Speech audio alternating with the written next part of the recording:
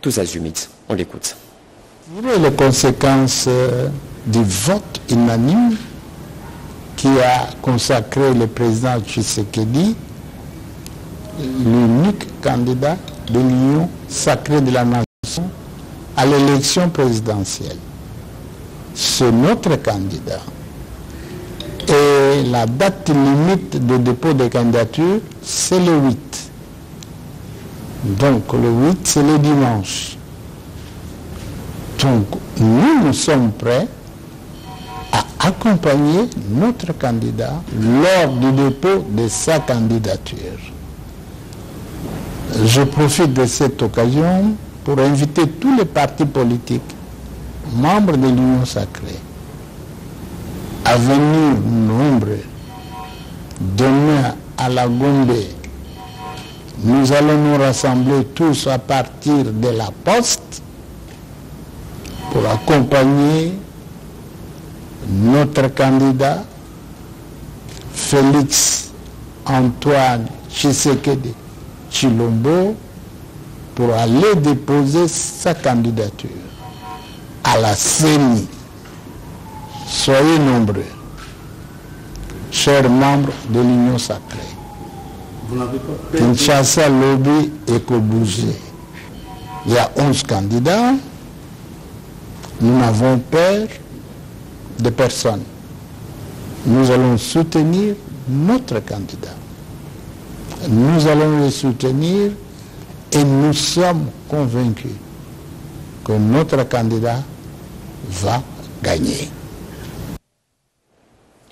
Et puis, nous revenons sur cet élément diffusé hier. Réparti en cinq chapitres et 76 articles, la Charte de l'Union sacrée de la Nation a été expliquée point par point aux différents gouverneurs membres de la plateforme politique par le secrétaire permanent de l'Union sacrée, André Mbata, les a aussi appelés à mouiller les maillots pour donner plus de voix au président de la République, candidat unique de cette machine électorale. Robert Ndaichi la charte de l'union sacrée de la nation, une véritable constitution des membres et partis politiques, tous les sujets de potentiel discorde et avantages sont codifiés par ces documents essentiels. Ce va des membres de l'Union sacrée de la nation, reparti en 9 chapitres et 76 articles, a été clairement expliqué article par article par le secrétaire permanent et rapporteur de l'Union sacrée de la nation, le professeur André Mbatabetoukoumé Soumangou, au gouverneur de province et président des assemblées provinciales à leur retour dans leurs provinces respectives. Une très bonne euh, impression après avoir euh, assisté à une réunion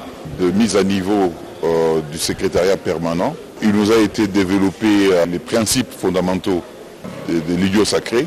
Très très ému déjà de faire cette première réunion. L'Union sacrée est déjà dans la province de Maïndombe. Surtout cette charte que nous devons retenir euh, dans nos têtes et ramener dans nos provinces. L'objectif de cette rencontre, demandé par les gouverneurs de province et présidents des assemblées provinciales, est de promouvoir la charte de l'Union sacrée de la nation et la vulgariser pour que la nation tout entière en prenne connaissance. Il sera important lorsque vous retrouverez le présidium que chacun ait cet instrument, la charte. Parce que nous n'allons pas nous dire membres de l'Union sacrée, on commence à nous poser des questions, nous ne savons même pas. Et si je parle aux plus hautes autorités de province, c'est vous, en fait, qui allez animer l'Union sacrée au niveau des provinces. Et vous devez être mieux outillés. Le secrétaire permanent, André Mbatabetoukoumé Soumangou, a au nom du Présidium donné des orientations à suivre pour la bonne marche de cette plateforme, une conception originale du président de la République, Félix Antoine Tchékédi Chilombo, haute autorité de l'Union sacrée de la nation.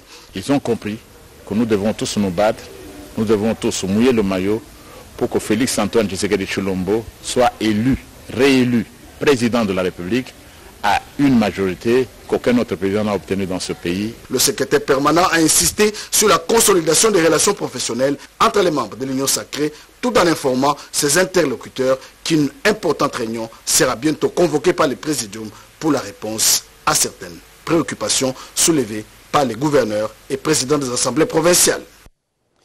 Comme Christophe Mbosso, le secrétaire général de l'UDPS, lui aussi appelle à une mobilisation générale pour accompagner Félix-Antoine Tshisekedi Chilombo aujourd'hui à la CENI pour déposer sa candidature. Augustin Kabouya l'a dit hier aux femmes membres de la Ligue de femmes de l'UDPS. C'était au cours d'une matinée de sensibilisation à l'Imbikaï.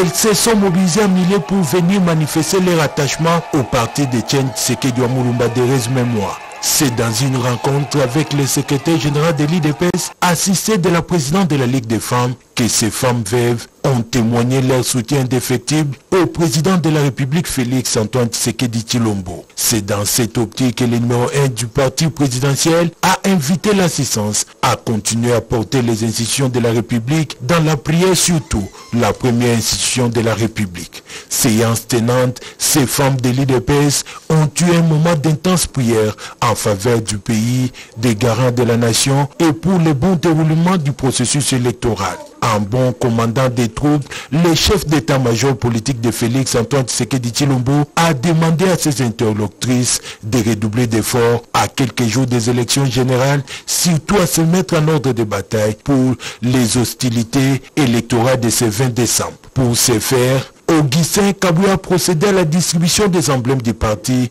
aux présidents des quatre fédérations de cette organisation des femmes. C'était aussi l'occasion pour les gestionnaires au quotidien de l'UDPS à appeler ces veuves à se mobiliser massivement, à se vêtir en couleur blanche, couleur de purité, ce samedi 7 octobre pour accompagner les candidats du parti Félix Antoine Tshisekedi Chilombo à déposer sa candidature à la CENI. Retenons que ces femmes veuves se sont consacrées à soutenir les pays, les chefs de l'État dans leurs prières. Retenons que ces femmes veuves se sont consacrées à soutenir les pays et les chefs de l'État dans leurs prières. La mise en place d'une task force multinationale sectorielle pour faire le suivi des réformes déjà engagées dans le secteur agricole, c'est l'une des résolutions prises au terme du forum DRC Agribusiness qui a officiellement fermé ses portes hier à Kinshasa, des assises clôturées par le ministre de l'Agriculture, comme nous dit Marie Kalong. L'engagement de mettre en œuvre des réformes profondes nécessaires pour faciliter l'accès au financement des agriculteurs a été pris. C'était à l'issue de la clôture des travaux de deux jours du DRC Agribusiness Forum au Pullman Grand Hôtel de Kinshasa. L'organisateur, Maître José Mpanda Kabango, ministre de l'Agriculture, a également annoncé la mise en place d'une task force. Nous engageons à mettre en œuvre les réformes nécessaires, à investir dans les infrastructures, bref, à faire des réformes profondes capables d'inciter les investissements privés dans le secteur privé. Pour démontrer la volonté du gouvernement, j'ai l'honneur, en complicité avec euh, les ministres des Finances, à annoncer la mise en place des task force multisectorielles. Nicolas Kazadi des Finances a salué la qualité de la collaboration intergouvernementale et a expliqué sa partition dans l'émergence du secteur agricole de la RDC. Je me réjouis de ce que cette collaboration ait été exemplaire et elle doit, traduire ce que l'on appelle nous, en tant que membre du gouvernement, une capacité à voir les choses de manière à privilégier l'interministérialité là où nous pensons que nous pouvons avoir plus d'impact et surtout à privilégier le dialogue intra-gouvernement et entre le gouvernement et l'ensemble de nos partenaires. Je voudrais remercier et saluer mon collègue, le ministre de l'Agriculture, pour la qualité de notre collaboration tout au long de la préparation de ce forum. Je vais me cantonner à mon rôle, celui d'accompagner l'agenda de la revanche du sol sur le sous-sol, impulsé par le chef de l'État. Tous les pays qui ont connu une émergence sont passés par cette révolution. Le représentant de la BAD a chiffre à l'appui déterminé le volume de financement pour la mise en œuvre du secteur de transformation agricole de la RDC. C'est un programme euh, de transformation de l'agriculture d'environ 6,6 milliards de dollars et plusieurs composantes. Les présidents des deux chambres du Parlement, membres du gouvernement, acteurs du développement du secteur agricole tous ont mis à contribution leur expérience pour le développement et la transformation du secteur agricole de la RDC. Le Fonds social de la République était aussi parmi les panélistes de ces forums d'IRC Agri-Business. Son coordonnateur a démontré l'importance de la transformation agricole en RDC. Regardez.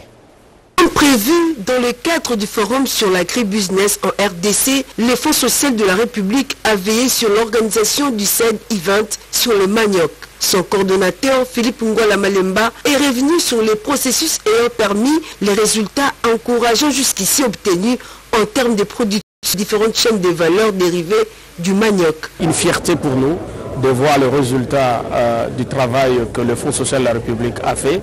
Euh, la filière du manioc aujourd'hui avec la farine panifiable et ses produits dérivés.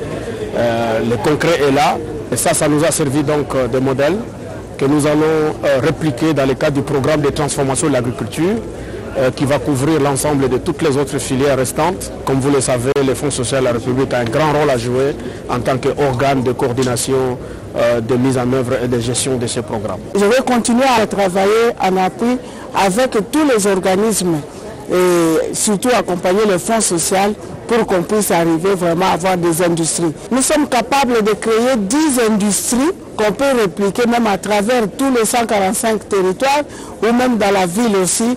Et vous avez des établissements qui des établissements qui qui ne font que la transformation du manioc ou d'un produit de manioc. Cette filière agricole priorisée par le chef de l'État dans le cadre du programme de transformation agricole en sigle PTA.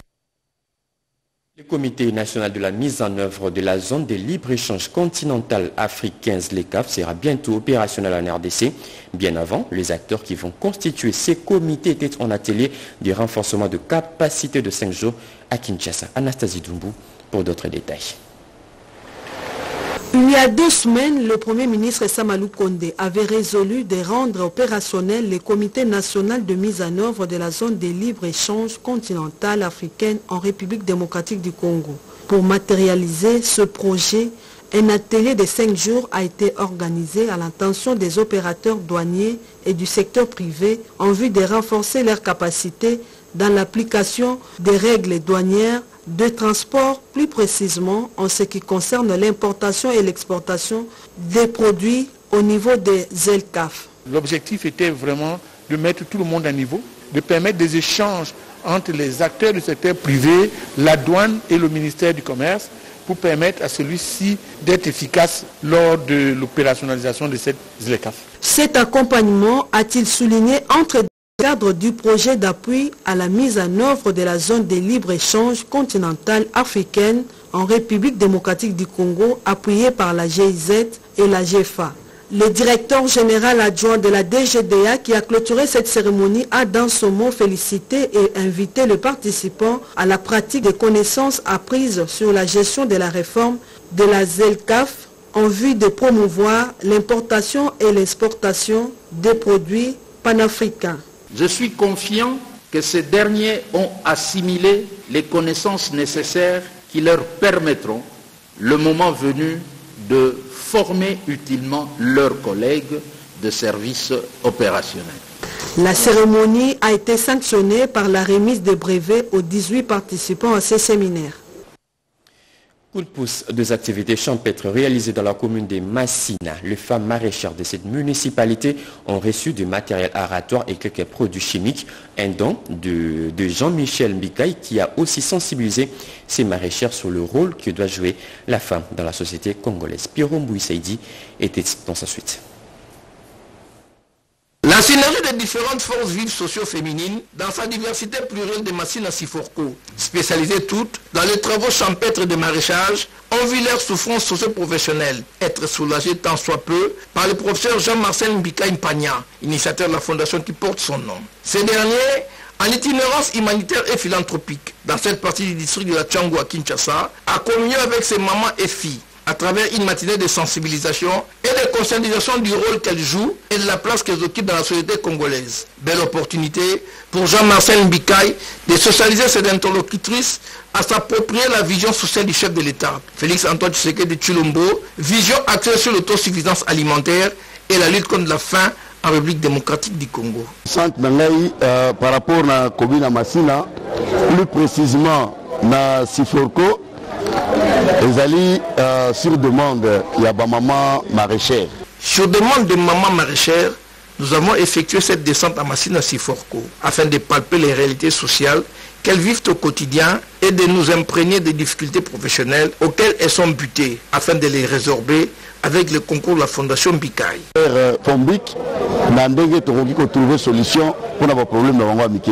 la concrétisation de cette procédure de socialisation, le professeur Jean-Marcel Bikaï Mpagna a doté ces femmes d'un important lot de matériel aratoire, de divers engrais chimiques et semences variées, sans oublier une série d'outils de travail indispensables de première nécessité quant à ceux. Place à présent rappel des titres avant de nous séparer. Fin du plus grand chantier hydroélectrique de la province du Lualaba. Les turbines ont commencé désormais à tourner depuis hier dans le barrage hydroélectrique de Boussanga qui a une puissance de 240 MW. Inauguré par le chef de l'État, ces, barrages dotés de sites centrales vont alimenter toutes les industries minières de la province. Vous avez suivi les images au début de ce journal. Également dans ce journal, nous vous avons proposé cette violation des différents accords de cessez-le-feu par le 1-23. Ces rebelles viennent de, viennent de, ces rebelles viennent de lancer deux bombes démorties en direction des positions des FARDC à Kibumba au nord Kivu. C'était vers 13 heures. Toutes les précisions ont été faites par le porte-parole du gouverneur du Nord Kivu. Et enfin, Noël Chani, sur la ligne de course pour la magistrature suprême, c'est haut fonctionnaire international, a déposé hier sa candidature en tant que candidat indépendant. Il a aussi profité de l'occasion pour discuter avec le président de la CENI, Denis Kadima, sur le processus de l'évolution, sur l'évolution du processus électoral en RDC. Mesdames et messieurs, ce journal a été réalisé par Mamita Bangoulou et Atasha Machini. La partie technique a été assurée par José Dimone Kene, Alain Galia, Emile Zola, eh, Yannick Yangumba Chamberton, Héritier Katendi. Merci de nous avoir suivis. L'actualité continue sur nos antennes. Très bonne suite des programmes. Au revoir.